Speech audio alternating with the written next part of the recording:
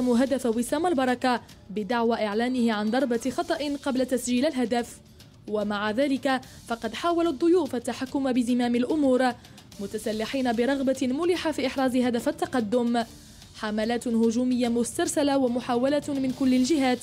أخطرها كانت تسديدة مركزة لوسام البركة الذي خلق عديد المشاكل لدفاع حسنية أكادير وعبد الحميد بخريس يتدخل لإنقاذ مرماه. بالمقابل اكتفى أصحاب الأرض بمرتدات خاطفة افتقدت الفعالية المطلوبة. ومع توالي الدقائق انخفض إيقاع المباراة لينتهي الشوط الأول أبيضاً. بداية الشوط الثاني عرفت استيقاظ فريق حسنية أكادير رغم طرد ربانه مصطفى مديح. عناصر الفريق السوسي استغلت النقص العددي للزوار بعد طرد الحكم عمر سربوت لأخذ المبادرة وبسط سيطرتها على وسط الميدان أمام الانتشار المحكم للعناصر الخريبجية ما اضطر أصحاب الأرض لتنويع حلولهم الهجومية.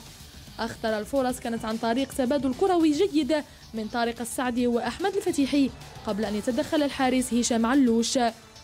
فريق أولمبيك خريبكا وأمام سيطرة العناصر السوسية اضطر إلى الرجوع إلى الخلف لتأمين خطوطه الدفاعية والاكتفاء ببعض المحاولات التي لم تثمر الجديد.